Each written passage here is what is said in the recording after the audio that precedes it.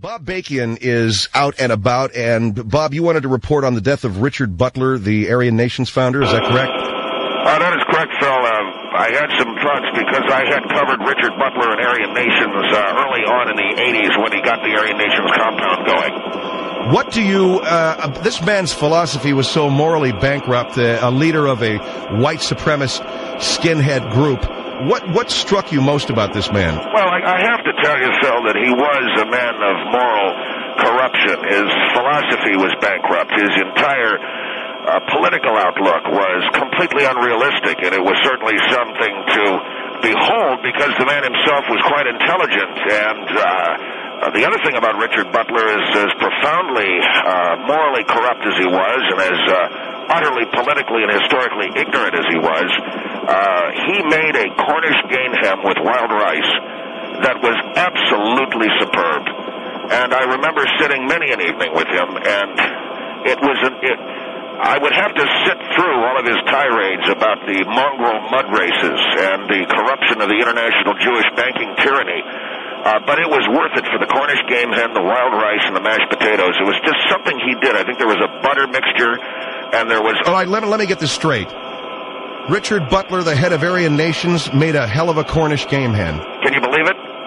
So I would sit there and he would rant and rave about how he wanted to cut off the head of every Jewish person and he, how he thought all black people uh, were descended from the devil and now he thought that Catholics were a bunch of papist scum and he would uh, show me the shrunken heads of Vietnamese that he got on the internet and uh, one time he showed me the skull of a Japanese soldier that he bought off of eBay. But by God, could this guy make a salsa? And I can tell you. You're kidding me, man. You'd sit around and listen to this? Yes, well, it was. I mean, was it worth it? It was, yes. It was that good? It was fantastic. Are you kidding? And not only that, what this guy could do with pork ribs. Woo!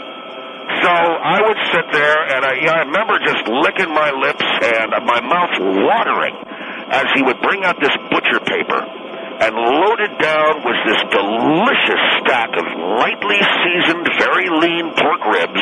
He did a little bit of parboiling, but then he'd put them on the grill and toss them back and forth. You know how the flame kind of leaps up and a little bit of that pork fat?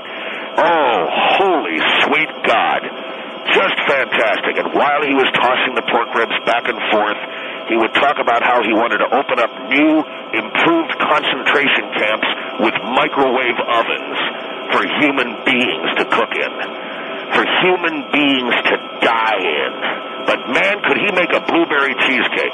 And another thing. Get out of here. I don't want to hear any more of this crap. I don't care how good a blueberry freaking cheesecake he made.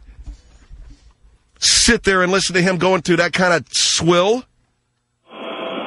Did I tell you about his jambalaya? I don't want to.